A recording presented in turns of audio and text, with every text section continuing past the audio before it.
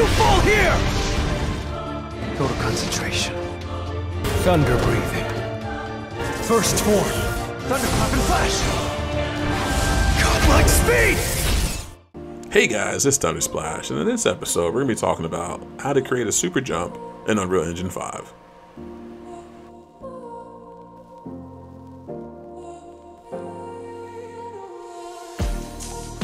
Alright, let's get into it. Alright, so before we start, I'm going to show you what the character's jumping looks like right now. And now we're going to adjust it. Alright, so the first thing we're to do is we're going to open up Character Blueprint, go to Character Movement, and go to Jump Z Velocity and adjust it. So let's change it to a thousand. Hit compile. And there you go. As you can see, the character jumps super high.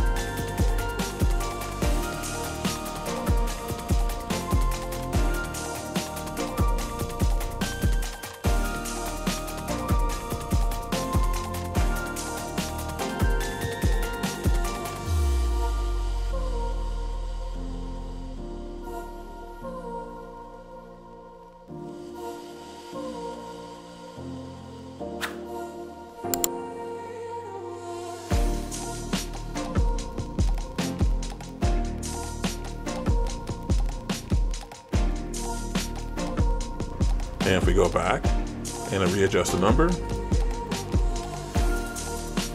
compile, and press play.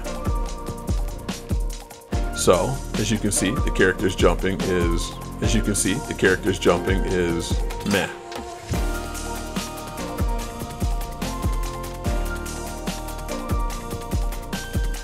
Alright guys, and that is how you do a super super jump in Unreal Engine 5. Super super jump Engine 5.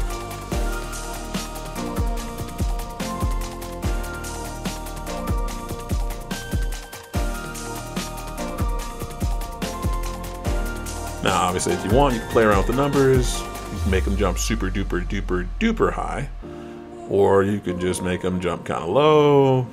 Um, possibilities are endless at this point, but that is how you control the jump. Hey guys, if you like these type of videos, don't forget to like, comment, subscribe, hit that notification bell, share this video, and I'll see y'all in the next video. Later.